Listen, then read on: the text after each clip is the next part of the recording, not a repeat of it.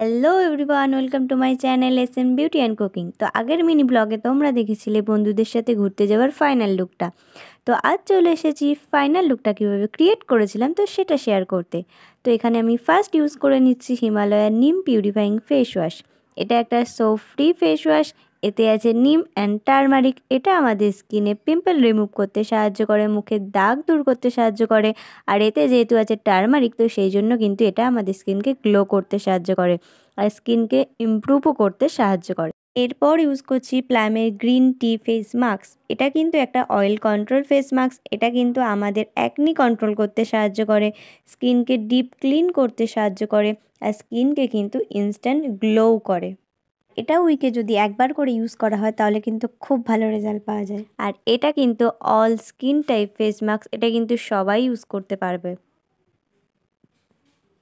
পর ইউজ করে নিলাম আইস আইস কিন্তু আমাদের ত্বককে উজ্জ্বল ও সতেজ রাখতে সাহায্য করে অয়েল কন্ট্রোল করতে সাহায্য করে একনির সমস্যা দূর করতে সাহায্য করে, আর ত্বকের জেল্লা ফিরিয়ে আনতেও কিন্তু সাহায্য করে।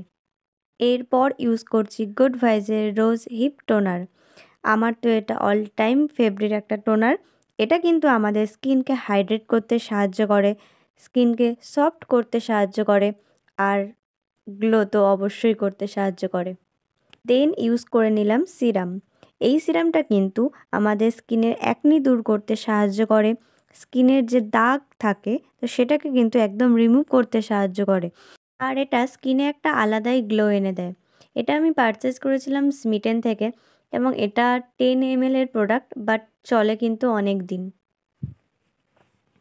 এরপর ইউজ করে নিলাম অলমোস্ট অল টাইম ফেভারিট ব্র্যান্ডের প্রোডাক্ট গুড ভাইস তো ইউজ করে নিলাম গুড ভাইজের রোজিপ জেল এটা কিন্তু আমাদের স্কিনকে প্রচণ্ডভাবে ময়শ্চারাইজ করে, স্কিনকে গ্লো করে সফট করে, আর কত কি বলব? আর এটা কিন্তু অল স্কিন টাইপ প্রোডাক্ট সবাই কিন্তু এটা ইউজ করতে পারবে।